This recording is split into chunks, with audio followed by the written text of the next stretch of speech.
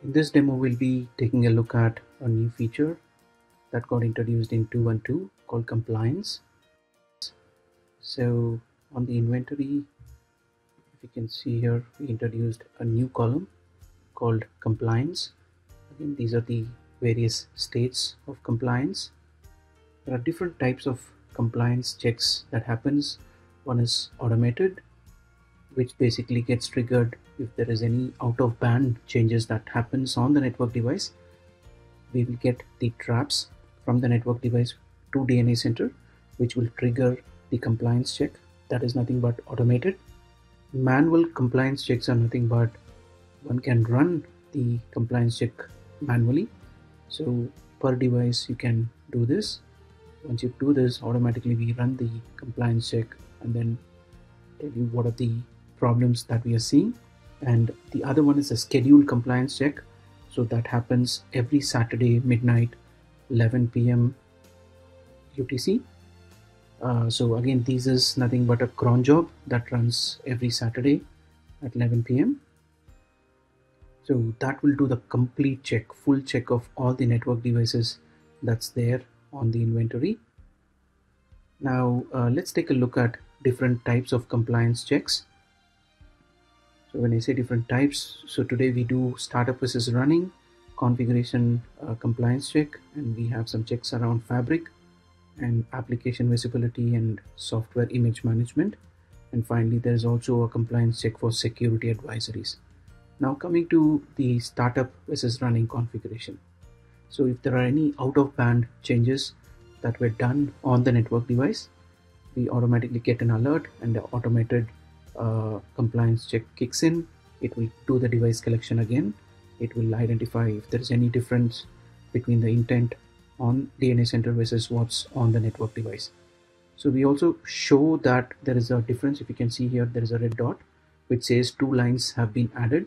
And if I click that, it will basically show me the difference. So in this case, you can see that there are two VLANs that got added VLAN 2000 and 2011 so that is the new addition that's on the device which is not on DNA center.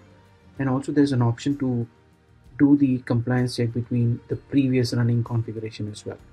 So again uh, to dig deeper you can do that. And also we can see that the same VLAN it's missing on the previous configuration as well. And uh, let's get into the fabric. Again based on what's the intent on DNA center and what's on the device we, we get the uh, configuration done and you can see that the Lisp process 0 that's the name of the model on DNA center and it says the status is removed the value on DNA center and what's the value on the device. So we even show the difference as to what is missing.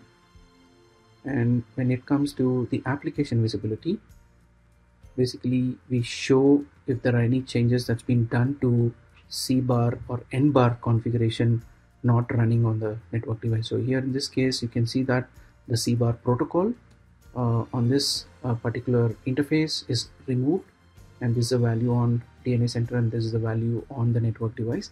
That's the reason why we've gotten this uh, application visibility alert and also if there is any change in the software management when when somebody tags a golden image we immediately check the if the devices are running that golden image. If not we straight away raise an alert saying that there is a mismatch between what's being tagged as a golden image and what's running on DNA center on the network device.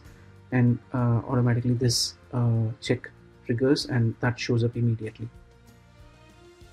And talking about the security advisories we basically if there is any security advisory scan that happens and if it returns any uh, vulnerabilities we basically show that uh, there is a problem. So in this case if you can see here uh, for this uh, device there are two vulnerabilities that came up.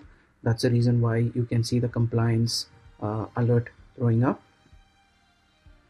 And also another important one which I would like to showcase as well is for the network profiles so if there is any change in the uh, intent versus what's on the device so let me take a look at one of the uh, 9800 controllers. So you can see that there is a change on the network profiles. Uh, that's the intent on DNA center versus what's on the device. So some out of band changes were made. And you can see that these four uh, network profiles or there's one network profile where multiple things were changed so uh, some some attributes are enabled versus uh, some attributes were disabled on the network device which raised this alert pretty much. And uh, that's about it